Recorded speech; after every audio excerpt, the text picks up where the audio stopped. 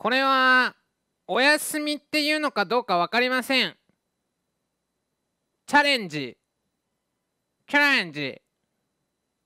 4刀流目ぐらいの武器を手に入れるために少しだけ休ませていただくっていうまあ皆さんから言うとそれは本当にお休みっていう感じなのかもしれませんね。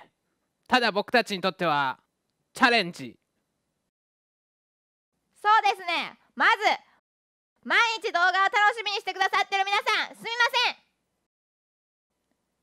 これはポコピーにとってお休みではなく修行期間です。決して部屋が散らかりすぎて取り返しのつかないことになっているわけではありません。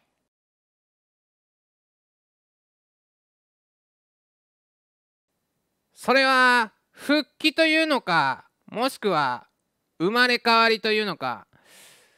まあ皆さんから言うと復帰というのでしょうが我々からすると birth 誕生。そういう意味かもしれません。9月26日。お楽しみに待っていてください。まあ一言で言うと楽しみにしててください。噛みましたね。としか言いようがないです。9月26日夜。10時。絶対に見に来てください。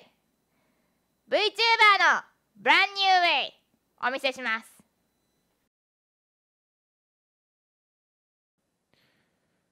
もうポコピーというものが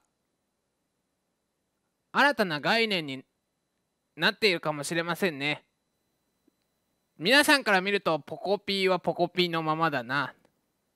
しかしこの休みを経てちょっと自分でもどうなるのかまだ分かりかねてます。